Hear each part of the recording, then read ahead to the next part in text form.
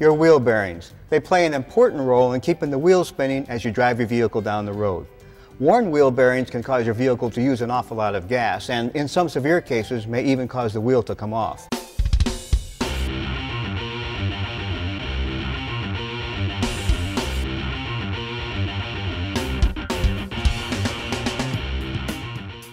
Some wheel bearings are sealed and lubricated for life, although most aren't.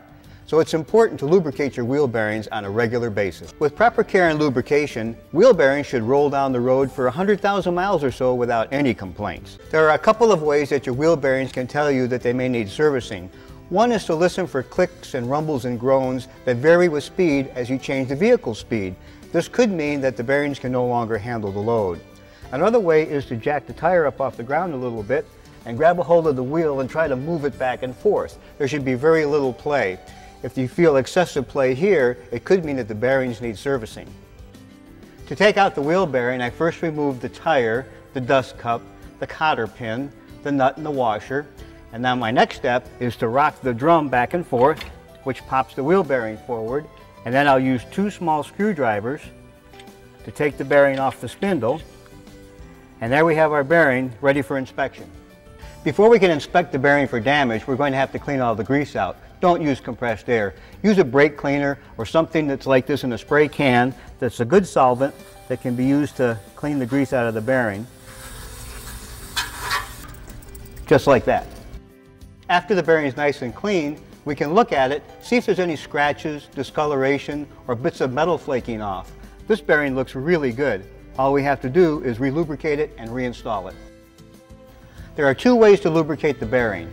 One method is to take some grease from the grease tub and just put it right in the palm of your hand and then take the rollers and push them into the grease.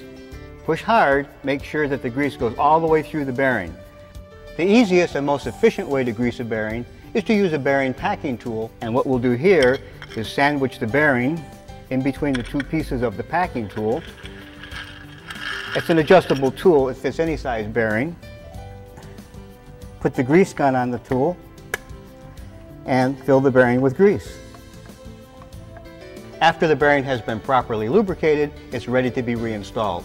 To do that, we'll push it back onto the spindle. Next comes the washer and the nut.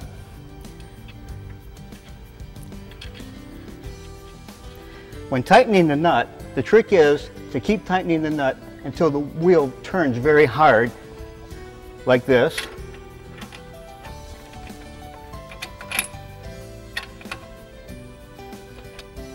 And then back off about a quarter of a turn until it turns freely.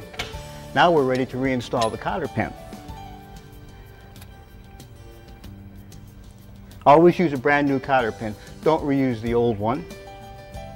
After we put the cotter pin in, I like to use the side cutters to just bend the cotter pin over on each side.